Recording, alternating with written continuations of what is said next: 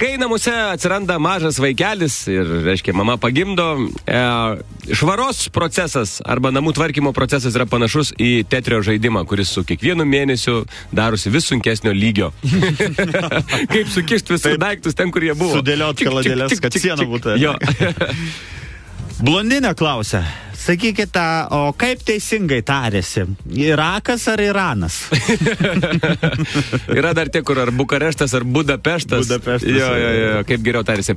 E, pacientas daktarui sako, o gydytojau, sako, čia aš va, vaikščiu iš kabineto į kabinetą, čia jūsų kolega, e, čia lygos mano istorija, va, pažiūrėkit, kas čia parašė. Dvi raidės, tik dvi raidės su taškeliais ir nieko nepaaiškinta. BŽ.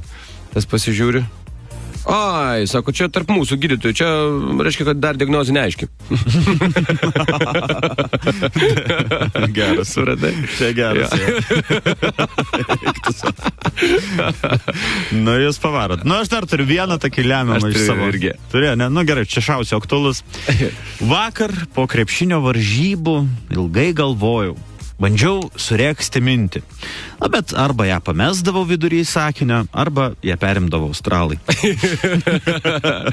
Labai į temą. Žodžiu, ateina į e, zoo parduotuvę, į gyvūnėlių parduotuvę, šeimyną visam. A, jau dukra tokia mm, augusi, kursę studentė, visa kita. mm, Mama, tėvas. Mhm. Nu, galvoju, nusipirkim papūgą. O. D- Dukra išvažiuos studijuoti, galų galę liksim, nu kažkaip bendrauti, gal gyvūnas kažkoks žiūri, žiūri. Nu, sako, nieko neturim, sako, čia tik tai va ta viena ara papūga, va ta didelė, kur kampė stovi. Sako, jau tokia pagyvenusi sena. Sako, palaukit, bet aš jo prieš pusę metų, prieš metus ją mačiau. Sako, jo, jo, jo, sako, čia seniai pas mus yra. O tai sako, kur nieks neperka jos.